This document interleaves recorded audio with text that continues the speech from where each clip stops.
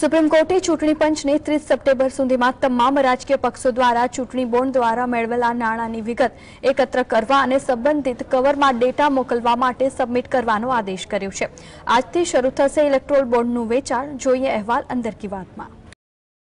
Supreme કોર્ટે Electral bond સ્કીમને પડકારતી અરજીઓ પર પોતાનો ચુકાદો અનામત રાખ્યા પછી સરકારે ઇલેક્ટ્રોલ બોન્ડ્સનો ઓગણત્રીસમો હપ્તો બહાર પાડવાની યોજનાને મંજૂરી આપી હતી. સુપ્રીમ કોર્ટે ચૂંટણી પંચને ત્રીસ સપ્ટેમ્બર સુધીમાં તમામ રાજકીય પક્ષો દ્વારા ચૂંટણી બોન્ડ દ્વારા મેળવેલા નાણાંની વિગતો એકત્ર કરવા અને સીલબંધ કવરમાં ડેટા કોર્ટમાં સબમિટ કરવાનો નિર્દેશ આપ્યો છે. આ દરમિયાન પાંચ રાજ્યોમાં વિધાનસભાની ચૂંટણી પહેલા ઇલેક્ટ્રોલ બોન્ડ વેચાણનો પ્રારંભ કરાયો. ચૂંટણી બોન્ડ માત્ર અધિકૃત બેંક સાથેના તેના બેંક એકાઉન્ટ દ્વારા પાત્ર રાજકીય પક્ષ વતી રોકડ કરવામાં આવે છે. ચૂંટણી બોન્ડ જાહેર કરવા માટે એસબીઆઈ એકમાત્ર અધિકૃત બેંક છે. અધિકૃત એસબીઆઈ શાખાઓમાં બેંગલુરુ, લખનઉ, શિમલા, દહેરાદૂન, કોલકાતા, ગુવાહાટી, ચેન્નઈ, પટના, નવી દિલ્હી, ચંદીગઢ, શ્રીનગર, ગાંધીનગર, ભોપાલ, રાયપુર અને મુંબઈનો સમાવેશ થાય છે.